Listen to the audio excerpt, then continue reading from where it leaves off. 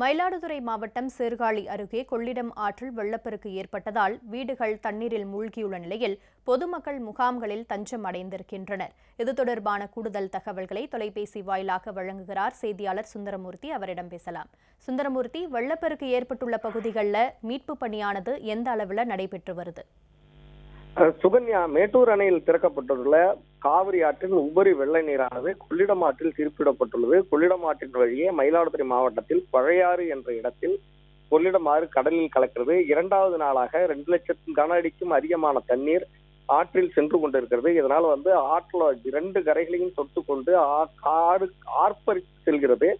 கரையோர கிராமங்களில் தண்ணீர் உட்பகுந்து பெரும் சேதத்தை ஏற்படுத்தியிருக்கு. சீர்காழி தாலுகாவை பொறுத்த வரைக்கும் முதலைமேடு நாதல்படுகை வெள்ளை மணல் நாணல் படுகை மகேந்திரப்பள்ளி வடரங்கம் மாதிரிவேலூர் கோரைத்திட்டு உள்ளிட்ட கிராமங்கள்ல வந்து கொள்ளிடம் கரைக்கு உட்பகுதியில திட்டு பகுதியில இந்த கிராமங்கள் அமைஞ்சிருக்கு. இதன் காரணமா அந்த பகுதியில உள்ள ஐயாயிரத்துக்கும் மேற்பட்ட பொதுமக்கள் பாதுகாப்பாக வெளியேற்றப்பட்டு முகாம்கள்ல தங்க வைக்கப்பட்டிருக்காங்க. அவங்களுக்கு வந்து உணவு மற்றும் அத்தியாவசிய சேவைகள் வ- வழங்கப்பட்டு வருகிறது. அவர்கள் வளர்த்து வந்த ஆடு மாடு கால்நடைகள் இதே போல கரையில வந்து பாதுகாப்பா கட்டி வைக்கிட்டு இருக்காங்க அந்த ஆ- ஆற்றுப்படுகைக்குள்ள வளமான பகுதி என்பதால் அங்க வந்து சோளம் முருங்கை பருத்தி பூ வகைகள் வாழை கம்பு கத்தரி வெண்டை அப்படின்னு சொல்லிட்டு பலவிதமான பணப்பயிர்கள் ஒரு ஆயிரம் ஏக்கர்ல பயிரிட்டு இருக்காங்க ஐந்தாவது நாளா வந்து தண்ணீர் வந்து அதாவது தண்ணீர் ஏற துவங்கி ஐந்து நாளான நிலையில இந்த தண்ணீர் காரணமாக அந்த பயிர்கள் எல்லாம் மிகவும் அழுக துவங்கி உள்ளன. இந்த ஆண்டில் மட்டும் இதா இதுவரை ஐந்தாவது முறையாக கொள்ளிடம் ஆற்றில் வெள்ளப்பெருக்கு ஏற்பட்டுள்ளது.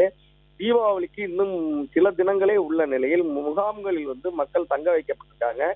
எந்த நிலைமையில வந்து அவங்க தீபாவளியை கொண்டாடுறதுன்னு தெரியாம இருக்காங்க. ரெண்டாவது இவங்களோட விவசாயம் அழிந்த நிலைமையில மீண்டும் அதிலிருந்து மீண்டு வருவதற்கு இதுவரை நான்கு முறை வெள்ளம் பாதித்ததற்கும் எந்த நிவாரணம் வழங்கப்படாத நிலையில் எவ்வாறு அடுத்து விவசாயத்தை துவங்குவது வாழ்வாதாரத்தை எப்படி மீட்பது என்ற கவலையில் ஆழ்ந்துள்ளனர் சுகன்யா. சுந்தரமூர்த்தி உங்கள் தகவல்களுக்கு நன்றி. தொடர்ந்து இணைப்பில் இருங்க.